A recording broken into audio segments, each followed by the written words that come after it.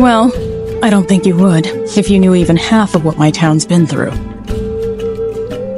You don't like it? Leave. But, over there, there's a quiet little inn where everyone's welcome. Any guys in black robes pass through? Not that I saw. Did see some black suits, though. Two guys and a girl. Looked pretty tough.